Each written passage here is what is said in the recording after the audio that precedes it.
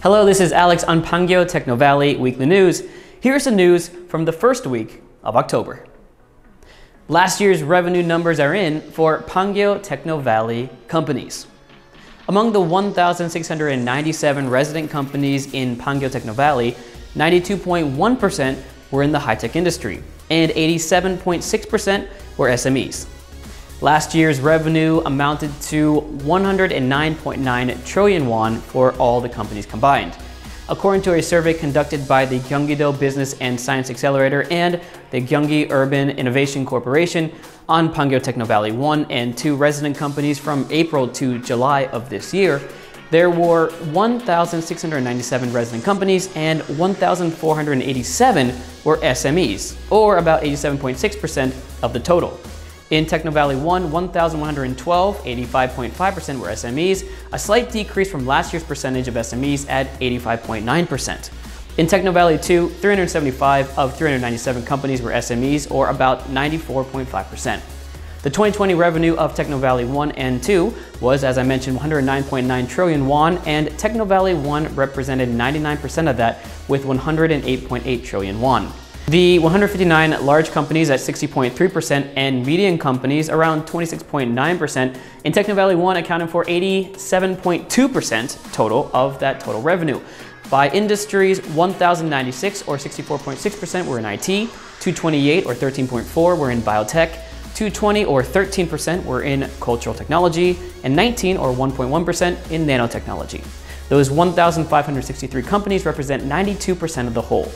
The number of full-time workers is 71,967, and the main age groups for workers is 30s and 40s, representing 72.1% of the workforce.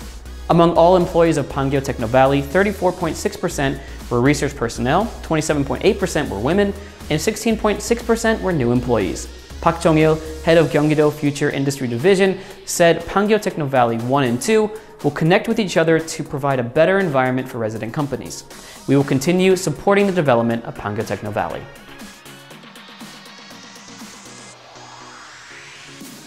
For the next story, Naver wins ESG Annual Report Global Competition. Naver announced on October 5th that its 2020 ESG Environmental, Social, and Governance Report and its annual report have received awards at the Global Competitions ARC Awards and the LACP Vision Awards. With this, Naver was awarded for two consecutive years in the annual report and sustainability report competition from the highest global authority. With the 2020 ESG report first published by Naver this year, Naver took the Platinum Award at the LACP Vision Awards and the Grand Award in the Specialized Annual Reports category at the ARC Awards. The annual report also won the gold medal in both competitions this year.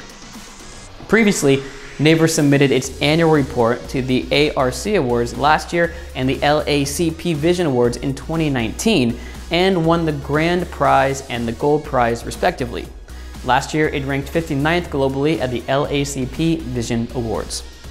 According to a statement from Naver, various content such as ESG management efforts, financial information, messages from the CEO, and design were faithfully reflected in the ESG report and the annual report. And they were able to win both awards this year. Park Sang-jin, Naver CFO, said, I think this is the result of transparent sharing of the values and philosophy that Naver pursues and the process of promoting growth with our partners. He continued, we will do our best to communicate with various stakeholders for the future direction of the company and grow together. For our third main story, Krafton Rising Wings globally launches Castlecraft. Rising Wings, an independent studio of Krafton, released its new game, Castlecraft, globally on October 5th.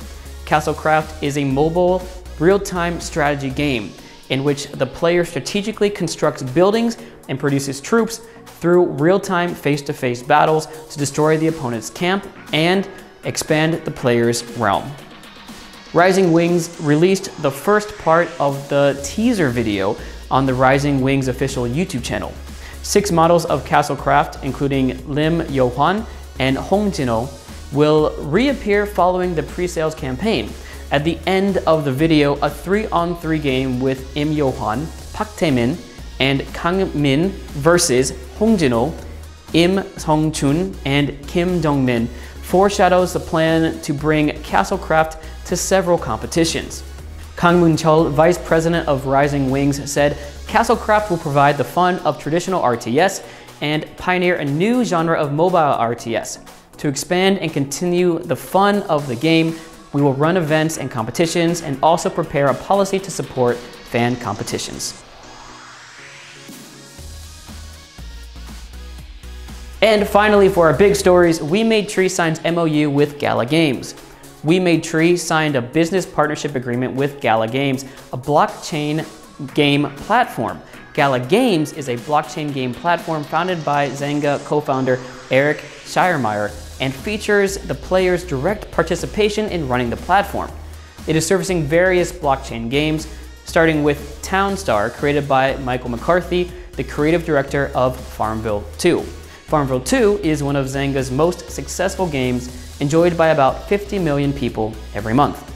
Currently, Gala Games has about 1.8 million monthly users, and NFT item transactions for the games in service are also actively taking place. Wemade Tree and Gala Games have decided to seek cooperation in game production and operation and blockchain technology.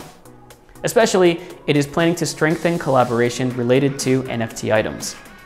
We Tree is currently servicing various games, wallets, and NFT markets, including Mir4 Global on its own blockchain platform, WeMix. And it will further expand the scalability of WeMix through this cooperation. And finally, here's your quick news of the week. First up, NHN Commerce wins hackathon hosted by Mach Alliance. NHN announced on October 5th that its commerce subsidiary NHN Commerce won the feasibility category at the hackathon Macathon hosted by the e-commerce global non-profit organization Mach Alliance. The second quick news, 01.ai receives Excellence Award in Pangyo AI Camp Natural Language category. 01 AI, a leader in security data AI platform technology, announced on October 5th that it won the Excellence Award in the final round of the online AI competition Pangyo AI Camp that was held for two weeks from August 30th. And finally, Krafton supports the creation of a Battlegrounds professional team. Krafton will support the creation of, of a professional team for PlayerUnknown's Battlegrounds.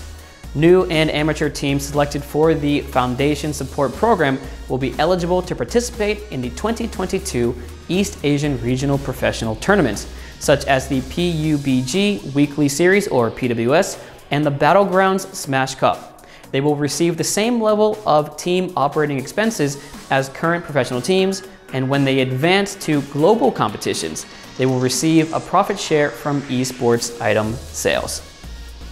And that's it for the Pangyo Technovalley Weekly News this week.